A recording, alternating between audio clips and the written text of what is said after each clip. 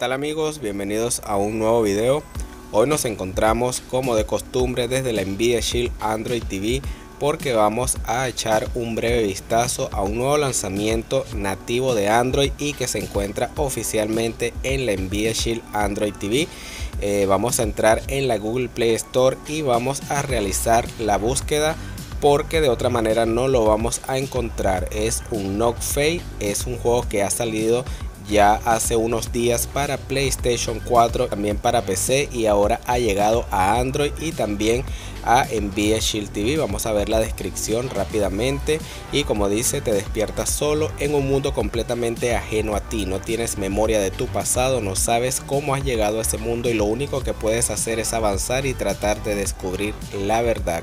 Ok, vamos a bajar un poco acá porque hay una información interesante y dice que se ha probado con controladores de Xbox 360, Xbox One y Nvidia Shield, así como también los dispositivos de gama alta con los cuales son compatibles con Android y también la Nvidia Shield Android TV. Ok, el lanzamiento eh, fue el 13 de mayo, es decir, hace unos días y su costo es de 8,99 y la compra la podemos realizar dentro del juego. Sin embargo, al descargarlo, eh, su peso es de 1.3 gigas y como podemos ver acá brevemente en las capturas que nos muestran en la Google Play Store hay unos pequeños errores de traducción al español pero nada de qué preocuparse. Algo también que nos llamó mucho la atención es que en el tráiler en la miniatura han dejado el logo de PlayStation 4 acá en la Play Store de Shield TV ok una vez que lo descarguemos eh, vamos a ver su peso 1.27 redondeado es 1.3 gigas y bueno eh, vamos a tener una especie de prueba porque eh, como dije la compra es interna entonces vamos a comenzar el juego con total normalidad y luego se nos va a presentar una pantalla de compra donde vamos a tener que gastar 8,99 acá nos encontramos ya dentro del juego y específicamente en la pantalla de título del mismo. Y algo curioso también es que no podemos hacer uso de nuestro gamepad hemos probado ya con varios modelos y en el menú del juego no, eh, no funciona el gamepad por lo que nos tenemos que ayudar con un ratón o mouse para poder acceder a las opciones o iniciar el juego ya una vez dentro del juego, como podemos ver, eh, se aprecia la calidad gráfica y se mantiene a la de la versión de PlayStation 4 o PC. Algo también que, como dije al principio, digno de aplaudir porque es un lanzamiento eh, de un juego que ha dado mucho de qué hablar en, en estos días y que ha llegado a Android. De verdad que esperemos que más juegos de esta calidad puedan llegar a la plataforma. Estamos viendo imágenes algo perturbadoras donde se nos muestra que estamos como adentrándonos en lo que es la pesadilla y en este momento estamos visualizando una figura, lo que parece ser una mujer fantasmal. No sabemos, como dice la descripción, dónde estamos, no sabemos qué envuelve todo este misterio y parece que la chica nos va a señalar algo, sin embargo ha desaparecido hay fuertes vientos, hay lluvia, vamos a ver eh, allá al horizonte se ha abierto un camino. Y bueno ya me encuentro con el gamepad de Nvidia Shield. Estoy moviéndome con total normalidad. Vemos lo que es especie de una, una ballena voladora. Y acá se nos comienza con especie de unos créditos a mostrar eh, los creadores del juego como pueden ver eh, tiene idioma español así que no se nos va a dificultar por lo menos y es algo muy importante que tengamos el, idioma español en este tipo de juegos donde eh, tenemos que leer y tenemos que resolver algunos rompecabezas. Otra vez la chica fantasmal ha hecho presencia y bueno acompañada de dos criaturas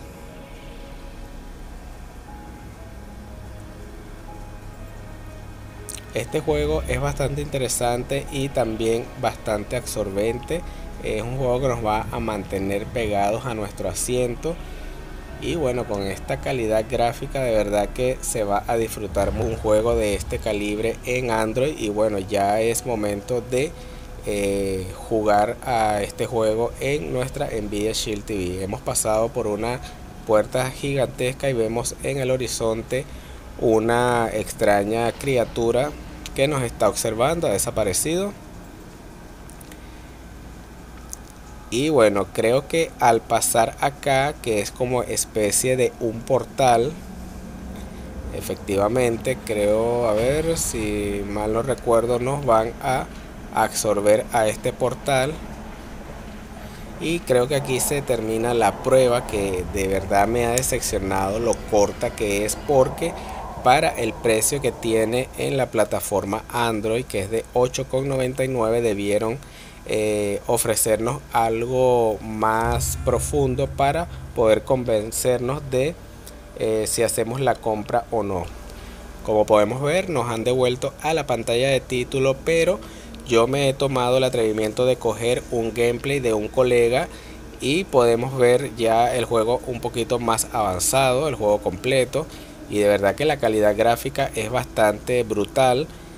Eh, el juego como dije absorbe porque nos mantiene en una tensión eh, queriendo saber cuáles son los misterios que nos eh, que nos esperan y que nos mantienen en esta pesadilla, en este mundo alterno. Vamos a encontrarnos con artefactos y criaturas extrañas, como podemos ver en este momento una araña, una tarántula con eh, cuerpo de bombilla. Y bueno, eh, también produce algo de miedo porque el entorno es muy sombrío y la verdad que no, no sabemos con qué nos vamos a ir encontrando a medida que vamos avanzando. Eh, también que la inmersión es bastante porque es en primera persona. Entonces yo los voy a ir dejando con un breve gameplay que para que puedan ver todo el entorno, puedan ver la calidad gráfica de este juego en Nvidia Shield Android TV. Y bueno, eh, si les parece que es un juego digno de pagar 9 dólares, eh, pueden dejarlo abajo en los comentarios. Cualquier duda también pueden dejarla abajo. Recuerden apoyar el video con un buen like. Si no se han suscrito, los invito a hacerlo en este momento. Y bueno, eh, ya será hasta una próxima oportunidad.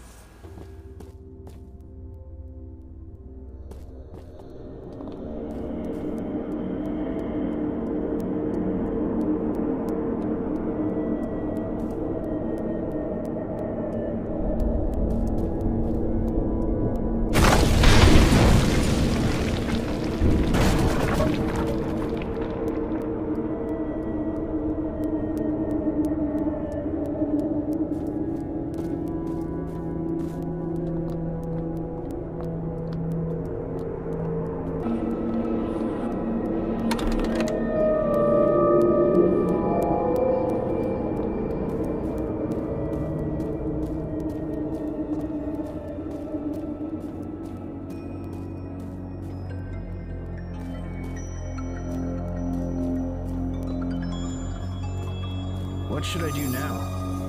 Uh, I can't go on. I'll help you this time. But don't get used to it.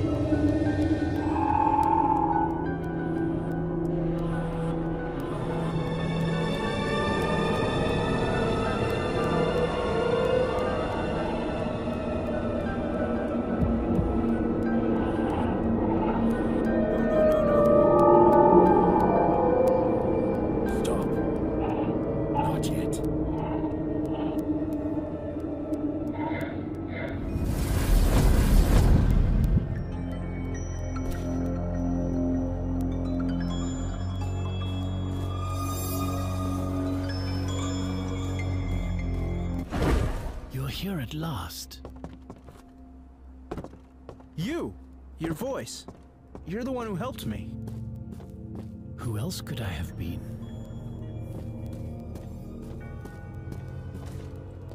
This world is dying.